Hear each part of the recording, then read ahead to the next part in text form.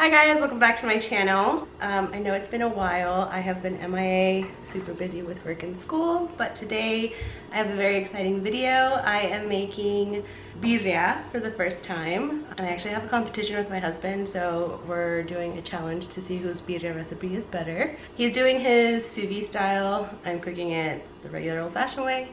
I am using a recipe that I found here on YouTube from Claudia Regalado. She's actually the same person that I did the marranitos recipe for, which is in my videos down below, so you can check that out. Let's get started. I'm excited. So I'm gonna list the ingredients down below, um, just so I don't have to run through them all with you guys. Oh, first I should probably Step number one, wash your hands. All right, so this recipe originally calls for, sorry, excuse my dogs, five pounds of chuck roast. But like I said, my husband and I are having a competition, so we did half. So I only have about two pounds here, but I'm still gonna keep the broth recipe amounts the same.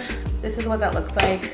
We are going to start by cutting this up and putting it in water. So that's just what I'm doing down here. You're not missing anything fun. I am adding a whole onion seven garlic, and then two of the bay leaves. Cover it with water. So we are going to cook this for about two hours, let it boil. At the hour and a half mark, we will skim the water, take out the fat, and then we can get started on the consomme part. We've got our two pounds of beef, two bay leaves, seven garlic cloves, and a whole onion.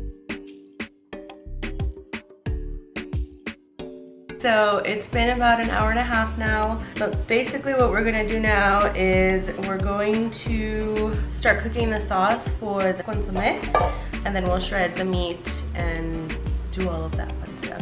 So we are just going to take out our onion and our garlic and the bay leaves. So now this pot we're going to start cooking our chiles. So we have two pasillas here, I believe 10 guajillos and 12 New Mexico and eight of these little de árbol. These will just depend on how spicy you like them. I think her recipe calls for like five. So normally you would de-seed and depot these, so just take off stem and then take out the seeds. But I like it spicy, so I'm actually just going to leave them. And then we're gonna cover it with water and cook that for about 20 minutes. Cooking, we're gonna toast our sesame seeds.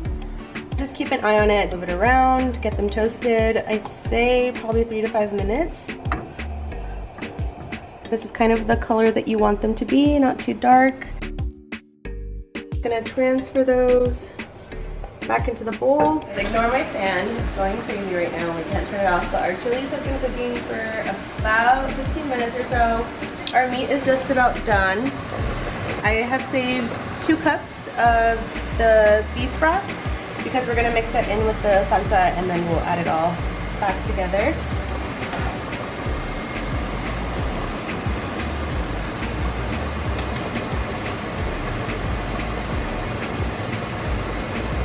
Our chilies have cooled off, so now we're just gonna transfer them over to our blender, start making our sauce. Sorry about the fan, it's really loud and obnoxious. It won't let us turn it off until the stove top is no longer scorching hot. To that, we're going to add our seven garlic cloves, our two teaspoons of sesame seed, garlic, cinnamon, going in, and then this is our spice blend. So I'm not gonna add salt right now just because I wanna wait until it's in the blender um, all together just in case it doesn't need any more salt. Four bay leaves, and then we've got a fourth cup of vinegar. And then our two cups of beef broth. I'm just gonna blend this until we have a smooth sauce and then we'll strain it into our meat. Mm. Oh so now we are going to transfer this sauce that we just made into our strainer directly into the meat.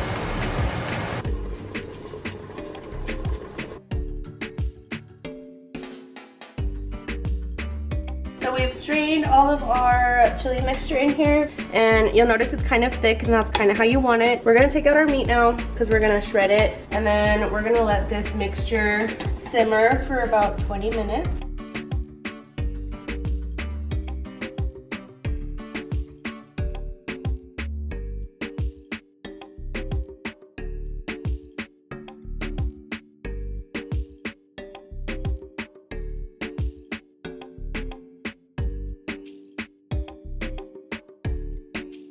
So now we're just gonna cut the onions and cilantro. I'm gonna show you guys a really nice trick that I learned about cutting onions. So you wanna cut it in half. And then we're going to cut off the ends. So now that you've got the onion like this, you want to create little lines across the whole onion, but make sure not to go all the way to the back. And then you're just gonna go down. And now everything is perfectly chopped. And now we're going to blend all of these together. You don't need to add any salt or anything. That's pretty much it, guys. But you can see down here, it's already thickened. The meat was transferred back in there after the 20 minutes of simmering, so it's got time to absorb all of those flavors. And then after this is done, we're just gonna finish cutting up our onions and cilantro, and then we can assemble our tacos.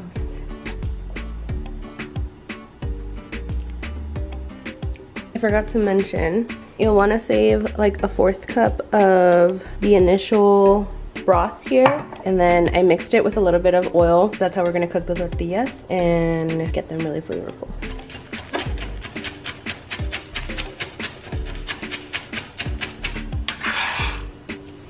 We're about to assemble the tacos. I just finished the onion and cilantro.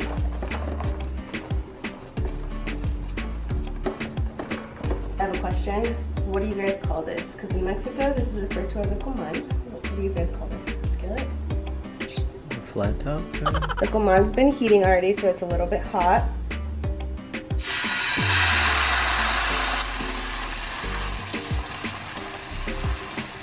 Now, we're going to add the cheese.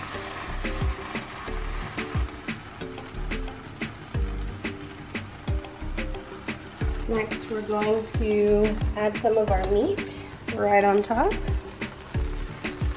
Oh my gosh, this.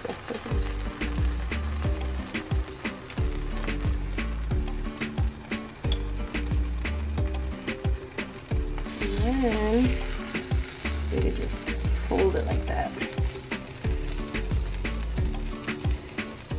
Alright guys, this is the final product. So we have the quesadillas and the consomme.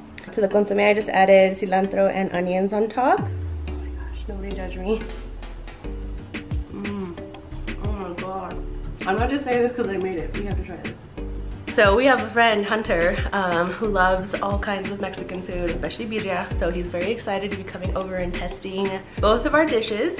We're not gonna tell him which one is which, so we'll just have him do a blind taste test and he's gonna decide which recipe is better. Okay, so we've got our friends, Hunter and Joanna here. We just got back from the pool, guys. Yeah. Don't judge. We don't always look like this. I do. All right, so what do you have to say? Alright, so I don't know who's this who's yet, but the first one I had was a little bit spicier, and I liked it it was just a little bit more. Second one here was more quesadilla-y, had a lot more cheese, wasn't as spicy, so I'll pick that one just slightly below the first. What about you? So the consistency of this one reminds me of how my mom makes it, and it was also mild, like just mild, like there's no heat. Okay. So I like this one because I feel like if I've had a couple of these, it's gonna get spicy. So I'm a fan of this one. He's a fan of this one. Okay, well the first one was mine. Was it? Yeah. Okay. Second one was Jordan. I knew I'd make mine for Joey. Thank you for being so thoughtful. Friends who love you. All right guys, well that's it. Thank you so much if you made it this far. I have had a blast making this. This is my first time making birria and I would give it a 10 out of 10. What do you say? Yeah? Yeah, this recipe, for sure, 10 out of 10. For my first time, I'm impressed. Thanks so much for watching guys. I'll see you in my next video. Bye.